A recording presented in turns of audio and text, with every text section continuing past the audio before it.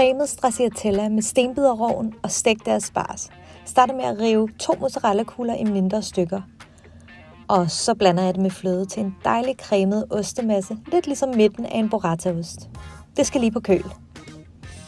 Så knækker jeg enderne af mine asparges, så vi ikke får den travlede del med, og skærer dem i mindre stykker. Nu skal de bare steges i en god olivenolie på panden. Jeg tilføjer en smule citronsaft. River resten af skallen fra citronen ned i stracciatella-osten. Og så anretter jeg det på et fad. Først stracciatella i bunden.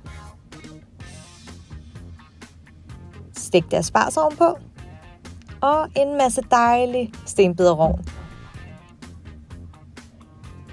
Jeg tilføjer lidt karse, lidt olivenolie og salt og peber til sidst. Mops, en lækker forret